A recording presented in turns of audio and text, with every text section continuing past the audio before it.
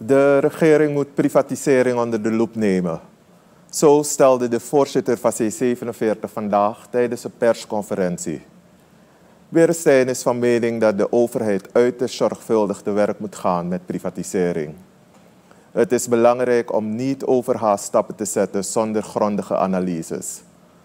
Daarbij moeten alle sectoren in overweging worden genomen en betrokken zijn bij het proces om zowel economische als maatschappelijke gevolgen goed in kaart te brengen.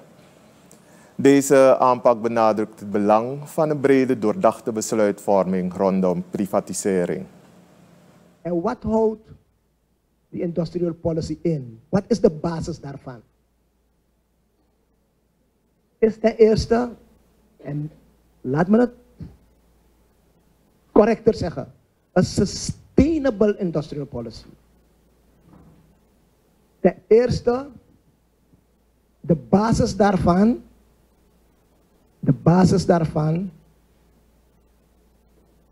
zijn die productieve sectoren. De productiesector, waarvan we een aantal hebben in onze, bij onze staatsbedrijven.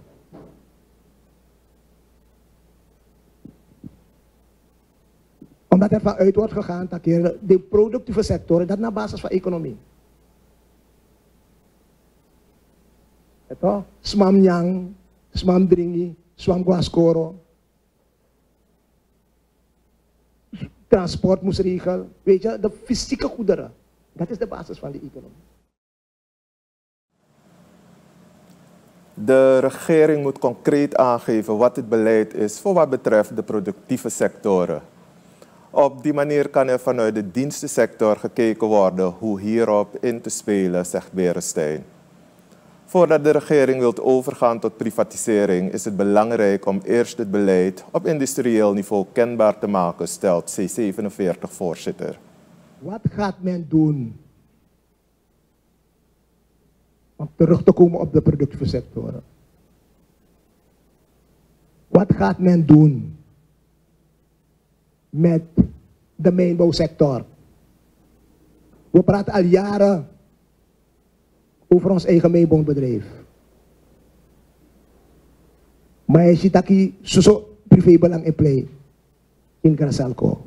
Concessies, we praten spraken over uitholling. Concessies van Grasalco zijn weggegeven.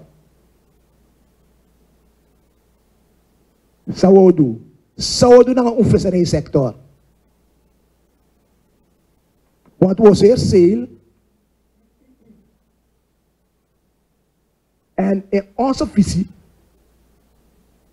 kan je zeil dan niet vervangen door een,